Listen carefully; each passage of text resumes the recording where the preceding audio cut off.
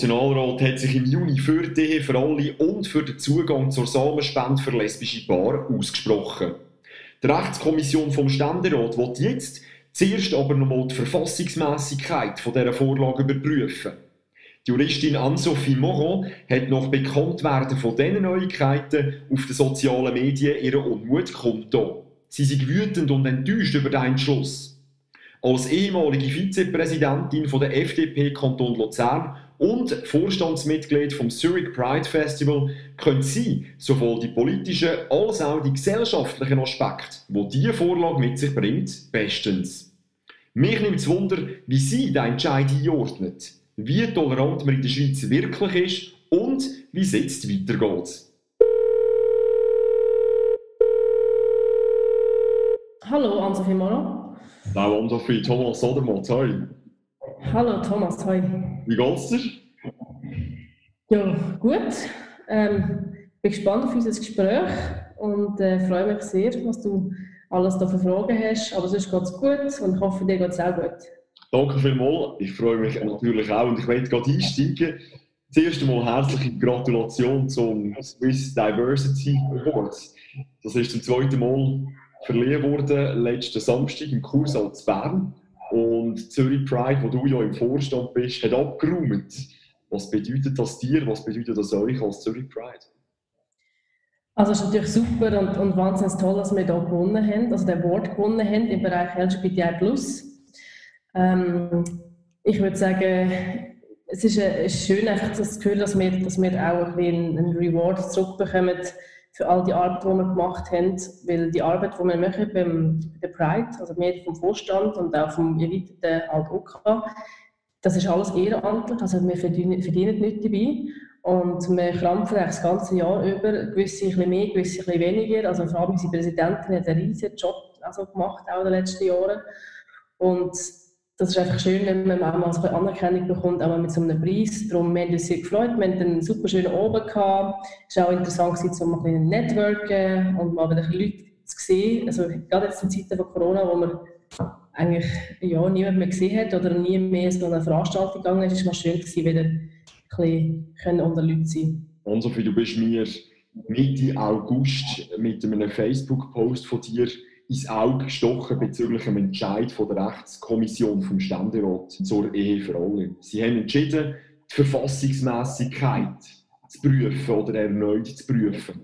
Und da hast du geschrieben, ich zitiere, ich bin wütend und enttäuscht oder vielleicht bin ich einfach zu fortschrittlich und gesellschaftsliberal für dieses Land. Wie ordne ich den Post von dir jetzt rund einen Monat später Also ich muss sagen, ich habe mir lange überlegt, was ich schreibe und ich gewusst, ich werde etwas schreiben und ich würde heute genau das Gleiche wieder schreiben und ich bin immer noch wütend, weil ich finde, der Entscheid, dass man die Verfassungsmäßigkeit prüft, also man eigentlich etwas prüft, was schon längst klar ist und durch verschiedenste Gutachten schon ähm, also durchgecatcht worden ist, das ist rein taktisch äh, von der Kommission oder von gewissen Leuten natürlich der Kommission, dass man das ganze Geschäft noch, noch mehr rauszögern. Und dort möchte ich wirklich nochmal sagen, ähm, die parlamentarische Initiative Ehe für alle, die ist im 2013 eingereicht worden, also vor über sieben Jahren. Und wir haben es immer noch nicht fertig gebracht und wir tun immer noch verlängern und verzögern, damit, ja, damit eigentlich Schwule und Lesben immer noch nicht die gleichen Rechte haben. Und ich, ich verstehe eigentlich etwas nicht, was so klar ist in meinen Augen oder in, also den Augen vom, vom Volk eigentlich, ähm, dass wir eben so dort vorbeipolitisieren in Bern bei dieser Frage. Du hast gesagt, es ist taktisch ausgerüstet Lager. Das heisst, inwiefern ist es vielleicht sogar fast ein bisschen zu erwarten gesehen? Also das habe ich jetzt wirklich nicht erwartet. Ich kann sicher erwarten, dass wir so ein bisschen dort länger noch diskutieren und, und, und und dass vielleicht nicht gerade in einer Sitzung, äh, Kommissionssitzung durchgeht. Aber man hat eigentlich schon so gute Vorarbeit geleistet in der nationalrätlichen Rechtskommission und darum bin ich echt davon ausgegangen, dass die Fragen, also die grundlegenden Fragen schon ganz klar genug durchgeherrscht worden sind und geregelt worden sind. Und es ist jetzt so, oder, wenn ich gesagt wir machen jetzt Anhörungen. Und ich habe ja auch bis letztes Jahr im Bundeshaus gearbeitet gerade bei einer Kommission, ähm, bei der, aber nicht bei der Rechtskommission, sondern äh, bei der Umweltkommission, sagt man der. Und dort habe ich natürlich so ein bisschen mitbekommen, sage jetzt mal pro forma, wie, wie das so ein bisschen läuft hinter den Kulissen und wie man ein bisschen Sachen kann ein bisschen und ein bisschen schneller machen. Und ich muss einfach dort ganz offen und ehrlich sagen, wenn man wirklich etwas will, dass es vorwärts geht, dann geht es vorwärts. Aber aus welchem Lager stammt denn jetzt der Entscheid? Also man muss natürlich so sehen, grundsätzlich ist das natürlich ein Mehrheitsentscheid von der Kommission. Und die Rechtskommission ist natürlich ähm, so zusammengesetzt, dass von allen Parteien gewisse Vertreter natürlich in der Kommission sind. Ständerat ist ja bekanntlich ein bisschen konservativer, sagt man auch. Und äh, natürlich ist auch die äh, ständerätliche Rechtskommission ein bisschen konservativer als die nationalrätliche. Was ich jetzt auch dort muss sagen ist, du hast beim, bei der ständerätlichen, äh, ständerätlichen Rechtskommission hast du einen Kommissionspräsident von der CVP, der aus dem Wallis ist. Also ich bin auch halb Walliserin, ich weiss doch, wie die Walliser manchmal ticken. Vielleicht ein bisschen sturer, so wie ich manchmal. Und das ist einfach jemand, der sehr, äh, ja, sehr konservativ ist, aus meiner Sicht. Ich habe auch für ihn geschafft, der Kommissionspräsident. Ich habe ihm auch übrigens ein E-Mail geschrieben, nicht nur den Facebook-Post gemacht, sondern ihm direkt ein E-Mail geschrieben, ein ganzes langes, und eigentlich meine, meine Enttäuschung auch kundgegeben. Und es ist einfach so, es sind zwei Sätze zurückgekommen, von wegen so, sorry, es ist Kommissionsgeheimnis, ich sage nichts dazu. Das habe ich ein bisschen schade gefunden, weil ich mir sehr Mühe gegeben mit E-Mail. Und ein Kommissionspräsident hat natürlich schon gewisse Macht, sage ich jetzt mal. Ich will nicht gerne zugeben, aber das ist so meine Meinung. Ich habe das letztes Jahr so ein bisschen gemerkt, auch äh, bei meinem Job im Bundeshaus, dass man doch relativ kann viel steuern und sagen, welche Geschäfte auf die Bahn kommen und nicht und so. Und der hat natürlich sicher auch Einfluss. Und man muss auch sehen, oder, wenn man jetzt mal schaut, wie der Nationalrat abgestimmt hat, der hat ja schon über die für alle eigentlich schon abgestimmt, darum ist ja jetzt in der Rechtskommission vom Ständerat und geht nach der in Ständerat.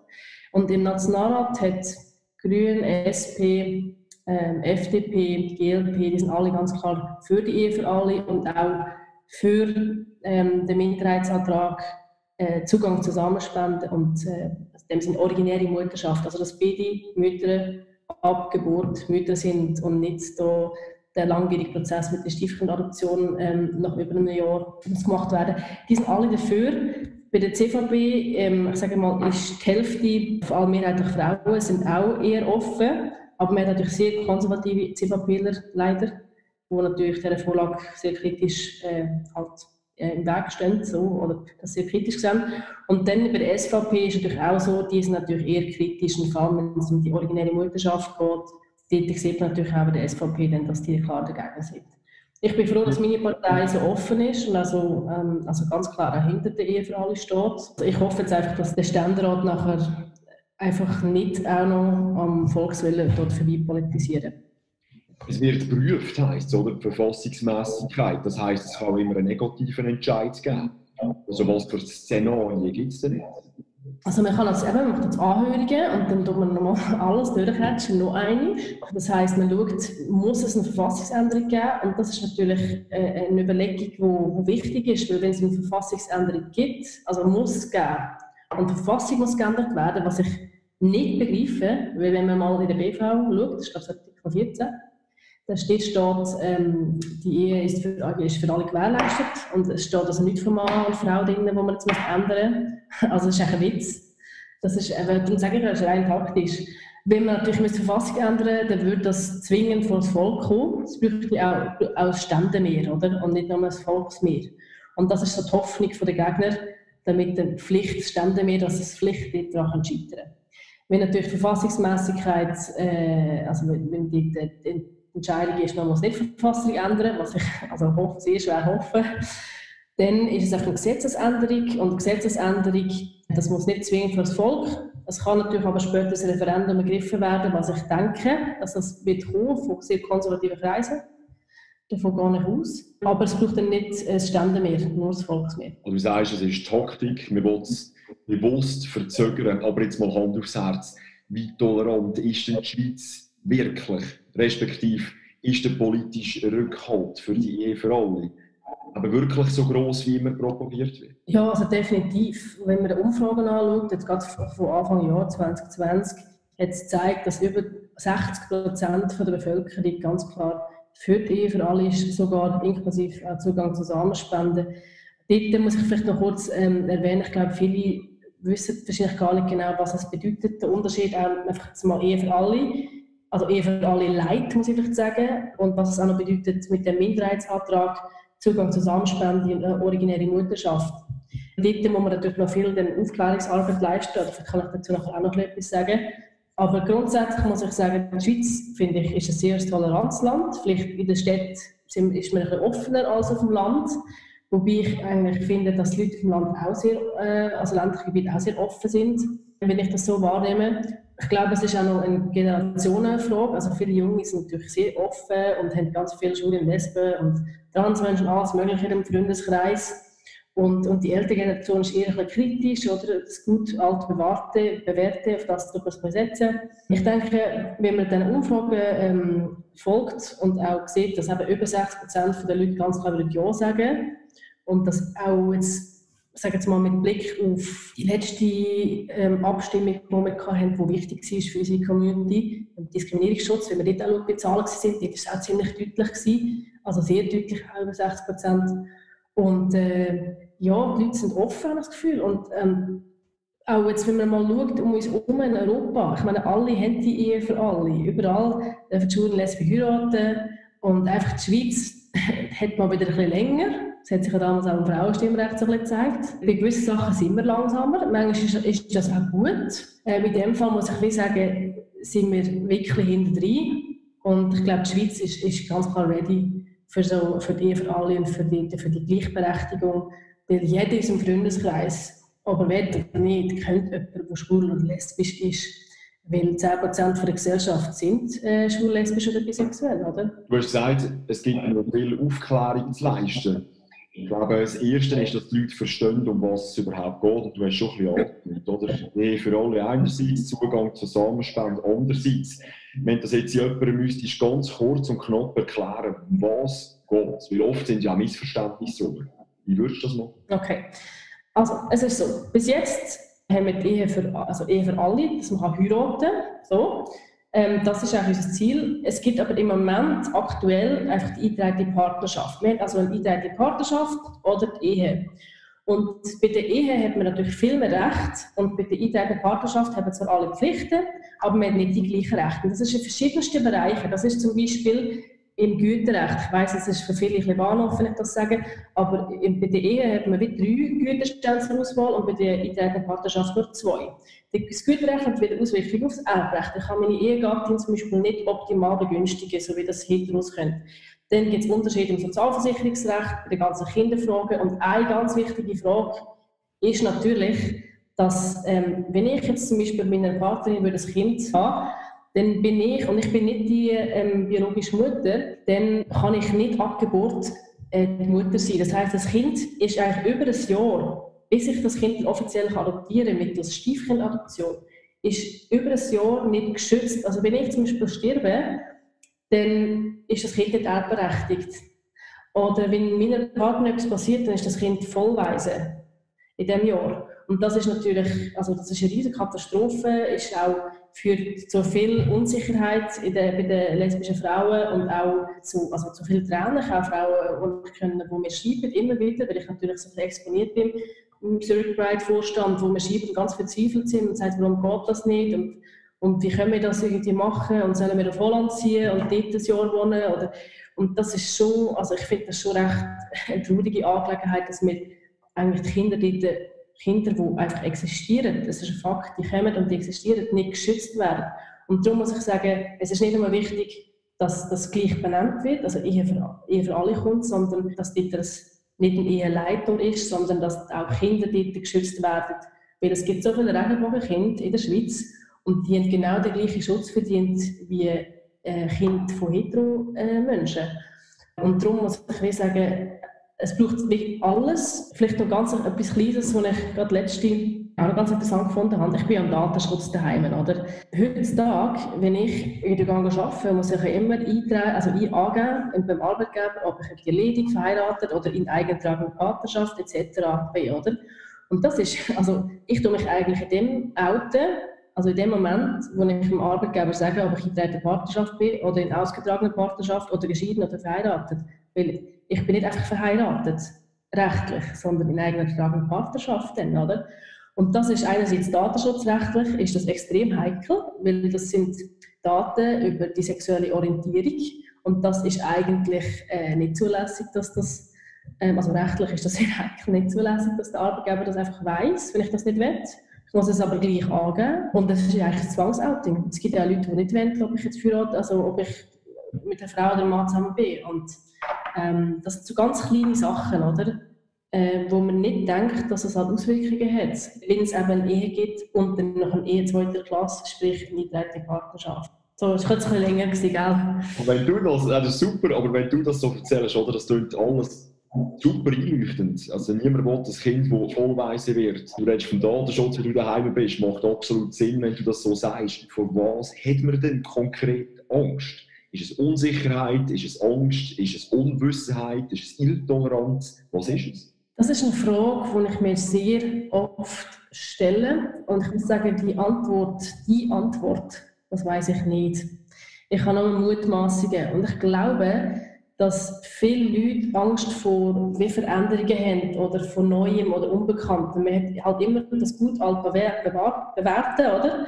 Und man möchte eigentlich nicht unbedingt, der Mensch hat nicht so gerne Veränderungen. Oder? Das ist schon ein so, glaube, ich, so ein bisschen in uns drin manchmal.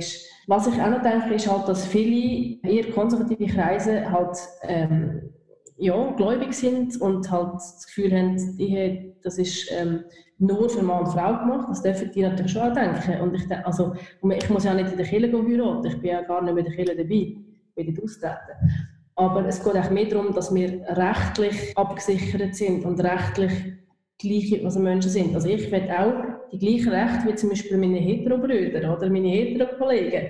Und das habe ich im Moment nicht. Ich glaube, wir müssen den Leuten einfach mal, also das Erste, was ich mal machen ist, jemanden fragen, ob die Person ähm, einen homosexuellen Kollegen oder Kollegin hat, so.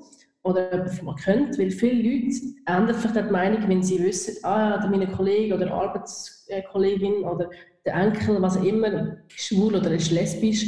Und das sind ja auch nochmal Menschen. Viele haben das Gefühl, es gibt nur Kampflesben, also alles Frauen mit kurzen Haaren und, äh, und Holzfällerhömmli. Und bei den Schwulen hat man das Gefühl, das sind alles, das sind irgendwie halbe Frauen, sage ich jetzt mal, das sind so Klischees und man hat dann wie so ein bisschen Angst vor, vor der Verrottung der Gesellschaft. Dabei sind wir, ich sage jetzt mal, wir sind ganz normale Menschen und ähm, bei uns gibt es auch alles, von der Kurzhaarlesbe bis zur, äh, Lipstick-Lesbe. Und bei den Schwulen gibt es auch die richtigen Holzfäller bis zu jemandem, der sehr feminin ist. Das gibt es aber auch sonst in der Gesellschaft überall.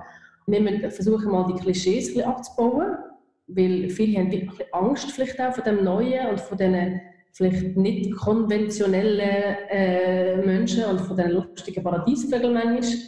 Aber das sind alles nur Menschen und ich glaube, in der Schweiz sind wir auch so fortschrittlich, dass wir ähm, können sagen, alle Menschen haben doch die gleichen Rechte. Warum haben wir immer noch 10% für unsere Gesellschaft und das sind viele Leute, wenn man das mal so ausrechnet auf die Schweiz, das sind irgendwie über halbe Million Menschen, die nicht die gleichen Rechte in der Schweiz haben wie ihre Hetero-Freunde, oder? Du redest von Klischees, von Vorurteilen. Was man ganz oft hört, ist, ja, es gibt ja bereits eine eingetragene Partnerschaft. Ja, das ist alles nur Salamitaktik, wenn man auch an die Adoption denkt ähm, wir fordern zu viel, Ehe sei zwischen Mann und Frau und so weiter und so fort. Mal Hand aufs Herz. Inwiefern fühlt man sich da, fühlst du dich als Person zweiter Klasse? Also wenn ich so Sachen höre, ich glaube, also einerseits oder früher, ja, hat das natürlich sehr wehgetan muss ich sagen. Mittlerweile bin ich glaube ich, sehr abgehärtet, weil ich mir auch mal so als Hassmänner so gewohnt bin, also als exponierte Person. Oder auch nach meinem Arena-Auftritt letztes Jahr im November habe ich natürlich nicht nur nette Nachrichten bekommen, sondern auch sehr verstörende Nachrichten. Tut manchmal schon ein bisschen weh, muss ich sagen. Auf der anderen Seite, ich bin ein liberal denkender Mensch. Es darf jeder Mensch denken, was er will. Und wenn jemand irgendwie das Gefühl hat, wir, sind, wir in die Hölle und, und sind kranke Menschen, dann darf von mir eine Person so etwas denken. Aber ich finde, wie der Staat hat auch äh, gewisse ähm, Pflichten und auch Pflichten dafür Pflicht dafür zu sorgen, dass, dass, die, dass die Menschen da äh, möglichst auch einfach die gleichen Rechte haben. Und auch gleiche Chancen, Chancengleichheit, also auch da gegeben wird und, und dafür sorgen hat, dass auch Minderheiten hier in der Schweiz ähm, ja, nicht benachteiligt werden, sondern auch die gleichen Rechte. Ich sage nicht, nicht mehr Recht, wir wollen ja nicht mehr Recht, sondern wir wollen nur die gleichen Rechte wie hinter uns haben.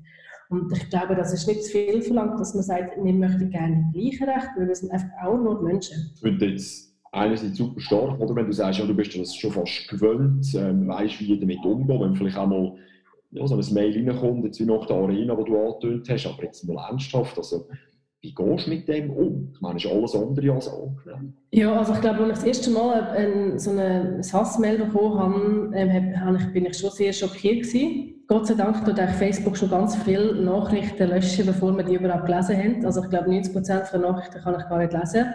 Und dann gibt es lustige Vögel, wo wir ab und zu so ein bisschen ähm, Bibelauszüge und solche Sachen schicken, via FDP damals noch, ich war Vizepräsidentin von der FDP von Luzern. Mir hat mal ein Politiker etwas Gutes gesagt, und zwar hat er gesagt, weißt du, Ann-Sophie, je mehr Dreck dir angeschmissen wird, darfst du das nicht abputzen, sondern musst dir eine Härte auf der Brust, also dass es richtig hart wird wie ein Panzer. Und dann, wenn wieder Dreck angeschmissen wird, dann wirst du immer stärker.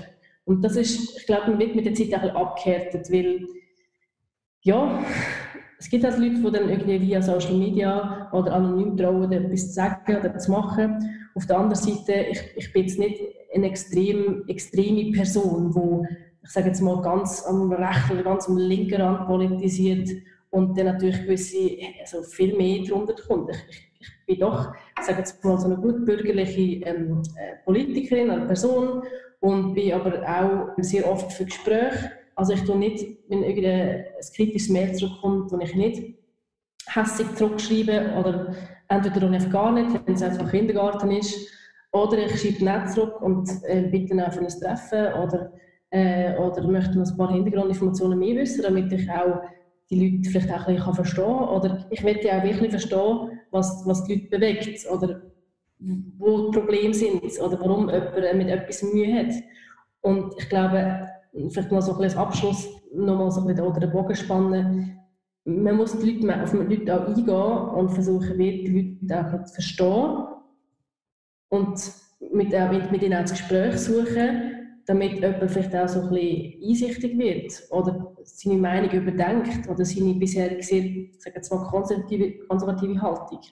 Mit gewissen Menschen geht das besser, mit gewissen nicht. Ich muss aber auch sagen, noch, und um deine Frage noch abzuschließen, also ganz heftige Sachen oder ganz böse Mails habe ich bis jetzt nicht bekommen. So richtig, richtig übel. Also, ja. Ähm, aber das gehört, glaube ich, so ein bisschen dazu, wenn man zum Beispiel im Nationalrat ist oder ihr, sowieso eine exponierte Person, also nicht so wie ich, sondern auch viel mehr, dann, ähm, dann, dann gehört das so ein bisschen dazu, dass man ab und zu mal als exponierte Person Hassnachrichten bekommt oder dass einen jemand nicht so toll findet. Aber das ist okay, ich glaube, das muss man dann muss man lernen umgehen und ein bisschen, das ein bisschen locker sehen. Das heisst, eine Aufklärung ist primär über einen Dialog möglich, umso besser, wenn man es eben auch sehen kann. Äh, in dem Fall, wenn es halt einmal äh, ja, negative oder eben so, so Mails gibt, wie du gerade erzählt hast. Abschließend, es ist gerade Herbstsession im Moment im äh, Parlament. Geht es da etwas weiter im Ständerat? Oder äh, von welchem Zeitraum reden wir da, bis sich äh, die Kommission entschieden hat? Ja, das so schnell geht das aber leider nicht. Also jetzt gibt es jetzt erstmal Anhörungen und die müssen jetzt erstmal noch organisiert werden. Das heisst, in der nächsten Kommissionssitzung wird man mal ähm, Rechtsexperten anhören und äh, überlegt sich dann und diskutiert, ob dann das wirklich eine Verfassungsänderung braucht. Also das es kann jetzt noch ein bisschen länger gehen, weil da erstmal diskutiert und diskutiert und diskutiert, oder? Und man tut ja dann nicht an einer Kommissionssitzung zwei Tage lang diskutieren. Da hat man einfach ein Zeitfenster von vielleicht so zwei Stunden oder einer Stunde reserviert. Oder vielleicht drei Stunden, aber nicht länger. Und dann, die Kommissionssitzungen sind ja nicht irgendwie äh, alle zwei Wochen, sondern die sind vielleicht so, sagen wir mal, einisch oder einisch pro einen Monat oder pro zwei Monate, je nachdem. Wir haben ja noch andere äh, Kommissionssitzungen und im Ständerat sind ja die Parlamentarierinnen und Parlamentarier in verschiedenen Kommissionen. Ähm, dort äh, ist es ein schwieriger manchmal, um das Ganze zu koordinieren. Auf jeden Fall, ich habe das Gefühl, jetzt könnte es erst mal ein länger gehen, bis mal die Rechtskommission vom Ständerat die Anhörungen durchgeführt hat, dann diskutiert hat, dann muss, muss man ja erst noch äh, entscheiden und dann geht das Ganze äh, erste Ständerat. Erst dann, wenn die Rechtskommission abschließend entschieden hat, was sie vorschlagen im Ständerat. Und das kann natürlich sein, dass man voll und ganz ähm, Nationalrat folgt. Ich gehe aber nicht davon aus. Ich sage, äh, die Ständerätliche Kommission, Rechtskommission wird wahrscheinlich eine andere Vorlage in den Ständerat schicken und dann wird der Ständerat über das befinden. Und dann ist man ja am Nationalrat und Ständerat nicht gleicher Meinung. Das heißt, es gibt Differenzbereinigungen. Also man muss auch mit Differenzen bereinigen zwischen den zwei Entscheidungen vom Nationalständerat und das kann natürlich länger hin und hin und her und hin und her und hin und her gehen. Und wenn man mal das noch, ich sage jetzt mal, ähm, anschaut, habe ich das Gefühl, das wird meiner Meinung nach nicht vor einem neuen Jahr sein. Dann ähm, wird man entscheiden, ich gehe jetzt mal davon aus, dass die für alle kommt. Die Frage ist aber mit oder ohne Zugang zu Samenspenden oder sprich äh, Schutz von Kindern. Dort habe ich das Gefühl, das könnte wahrscheinlich eher nicht drin sein. Das heisst, nachher wird es wahrscheinlich das Referendum geben, dann werden wir noch darüber abstimmen und dann wird das irgendwann mal Kraft treten. Ich glaube, dass die Ehe für alle erst in 2023 frühestens wird kommen vorher nicht. Es ist leider traurig. Das heisst, ich muss dann mal mit meinem Heiratsantrag noch länger warten, aber es macht nichts. Danke viel, viel mal und sind wir gespannt auf die nächsten Kapitel von dieser Geschichte. Und wer weiß, wenn es im neuen Jahr schon News gibt oder ein bisschen später oder vielleicht in Zukunft auch mal einen Heiratsantrag, dann äh, ja, vielleicht sind wir dann wieder in Kontakt. Ja, und ich lade gerne alle, die hier zulassen, an das Zurich Pride Festival in Zürich ein. Das ist immer im Juni in Zürich findet ihr auch im Internet auf unserer Homepage bridefestival.ch. Und das ist wirklich ein wahnsinnig tolles Event. Da kann auch jeder, jede kommen, also egal ob hetero oder homo oder alt und jung ähm, oder als Schweizer oder Ausländer, was auch immer. Dort ist wirklich jeder Mensch willkommen. Das ist ein ganz, ganz schönes Festival. Und ich habe schon ganz viele Freunde gehabt, die immer regelmäßig jetzt kommen, seit ich sie eingeladen habe, weil es einfach ein Fest ist, wo die Leute so positiv sind und so fröhlich und einfach ähm, so können sein, wie sie sind. Also niemand muss sich hinter irgendetwas verstecken. Jeder, kann einfach, jeder Mensch kann einfach sein, wie er ist oder wer sie ist. Ja, kommt doch einfach mal an Pride und schaut mal, was, wir da, was das für Leute sind. Und dann sehen, sehen ihr auch, wie divers wir sind und wie vielseitig wir sind. Danke ja. viel, viel mal für das super sympathische Gespräch, für das offene Gespräch, für die Ausführungen. Und wer weiß, was in Zukunft jetzt noch alles entschieden wird, in näheren oder halt auch in weiter entfernter Zukunft. Vielleicht hören wir uns ja wieder eins und wünsche dir ganz eine gute Zeit und danke vielmals noch an Sophie. Danke auch für das Gespräch, super spannend mit dir, Thomas, und äh, bin gespannt auf deine nächsten Podcasts. Tschüss, ciao, ciao.